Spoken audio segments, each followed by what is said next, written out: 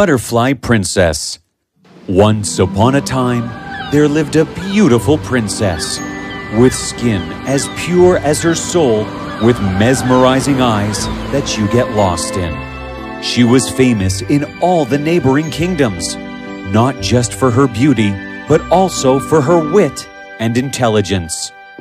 Many a prince wanted to become her knight in shining armor, but failed. A man with magic that could dry up the oceans fell deeply in love with this princess.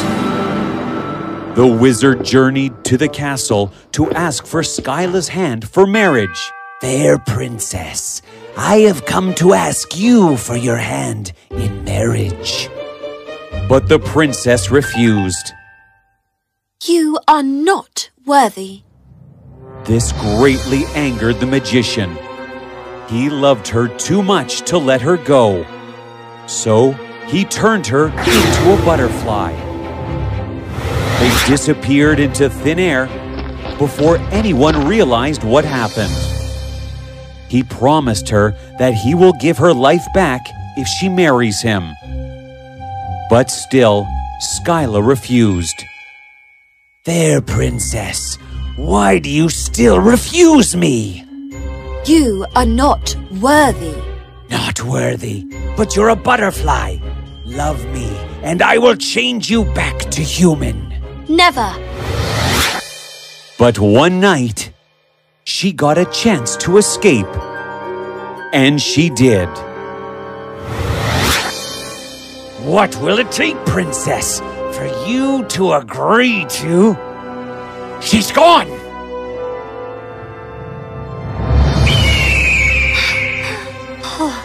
Flying is tiresome. Shoo! Go away! Ow! For a moment, the princess forgot she was a butterfly. But the headstrong princess wiped her tears away and charged on.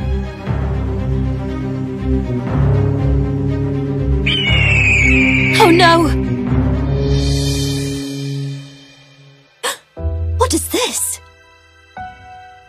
Who is my new visitor? I am the princess. What a beautiful butterfly! Why do you have paintings of me on your wall? The painter does not hear her tiny pleas, for the princess's voice is so minuscule not even a gnat could hear it. Are you admiring my paintings of the princess? She's the most beautiful woman I've ever seen. Her face haunts my dreams, so I paint her. But I am the princess. What are you doing? Let me go! Not to worry. Here you go, my new butterfly friend. The painter catches the princess, unaware that it is the princess he admires the most. Two days later, once her wing had mended, the painter releases her into nature. The princess flew and flew, not knowing where to go. Oh my! Where do I go? She finds a waterfall. It reminds her of the waterfall she used to go to every full moon and sings till her heart's content. She slowly started weeping and humming a sad tune. Little did she know that the waterfall is home to a goddess. You have an exquisite voice, little butterfly. I am a princess. I heard you humming from inside my watery home. Humming? I thought I was singing. The princess still does not grasp that the world cannot hear her true voice. Mere mortals cannot hear you. I will grant you the power of voice. The princess's true voice is heard. Princess Butterfly sings to her heart's content, which so impressed the goddess that she granted Skyla one single wish. Oh, thank you, goddess. She tells the goddess her story and says her wish is to give her human form again. Oh, I can do no such thing, for the spell is too powerful to reverse permanently. What do you mean, permanently? I can grant you your human form, but only for two minutes. Oh, thank you! Thank you! The only way to truly break the spell is to kill the one who placed it on you. That miserable old wizard did this to me. If you can vanquish this wizard, then you will return fully human again. The princess was told her two minutes will come during a time of great need.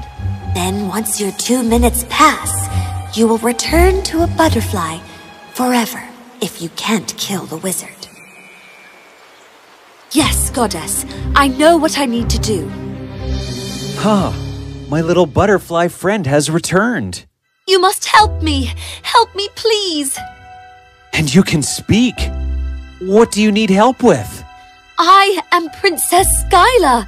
I need your help to turn me back into a human. I don't understand. How can you be the princess? The object of my love and affection for all these years. You are just a butterfly. An evil wizard in love with me turned me this way and captured me. I barely escaped his wretched eagle. I ended up here trying to get away. The painter was in a quandary. Could this talking butterfly really be Princess Skyla? You'll have to prove you're the princess. Nonsense! So, I am just supposed to believe every talking butterfly that wanders into my home? He had a point. Very well. Ask me something only the true princess would know. Hmm. What did your father get you on your sixth birthday? That's easy. A glorious pony. That I still ride to this day, or did when I was human. Correct! Oh my. You really are the princess. I am so honored to have you in my home. Yes, yes, honored. We must hurry. The wizard. Of course, my princess. What on earth are you doing? We must leave at once. Am I to take on a wizard with my bare hands, milady? I have weapons and armor in here somewhere. Not the most fiercest warrior, yet when he stood before the princess, ready to lay his life down for her, something stirred deep inside. How long have you been painting me? Since the day you were born, I found you a fascinating subject. I didn't know you would grow into such a vision.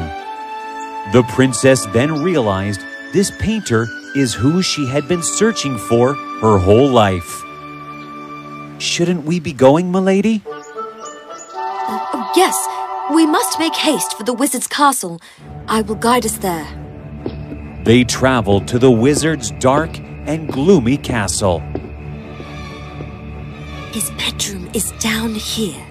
If he sleeps, perhaps we can slay him before he wakes. Let's hope so. I'm not much of a knight. Who goes there? Oh my. Who dares enter my home? It is Princess Skyla and her brave warrior. This quaking fool is meant to be my opponent.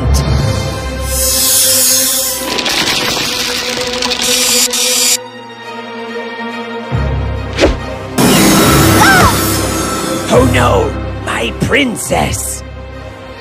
You became human to save me. You are my knight, my true prince. Seeing her at death's door, the wizard had a change of heart. Whether she feels the same or not, I love her too much to let her die. He's gone. I'm human once more. Let's go home, my princess. They steal a horse from the wizard's stable and begin the trek back home to start their new life together. Happily ever after.